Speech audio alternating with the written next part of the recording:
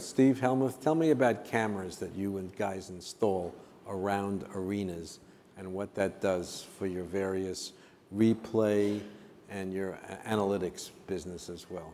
Yeah, sure. Put the mic up to your mouth because you got Sure, too much sure. to say. Thank you, thank you, David.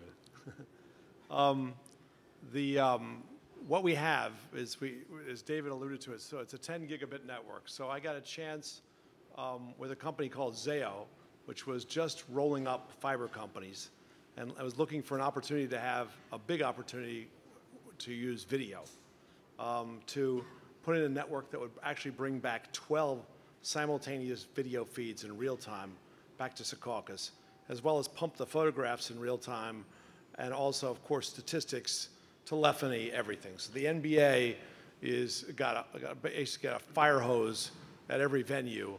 We're bringing all this back in real time. So first of all, the use was go to the game. Let's make instant replay, replay by the referees as good as we possibly can and I used to kid Rod Thorn, who's just departed. I said, Rod, you paid for everything for the content guys, because of course we take all 12 feeds and we turn them over to the to the content folks, right?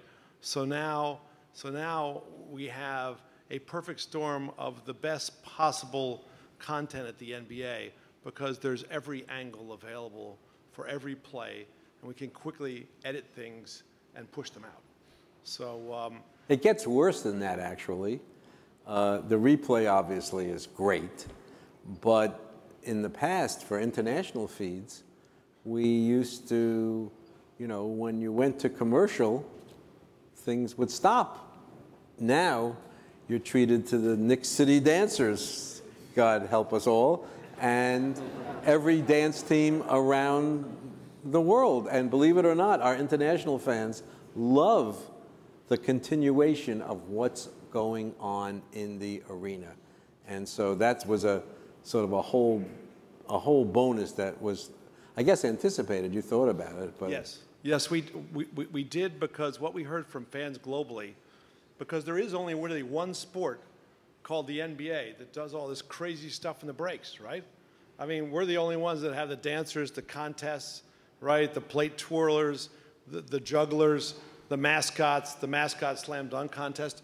We've got all this, and we heard from our fans globally. We want to be a part of that. We want to be in the building. Okay. And-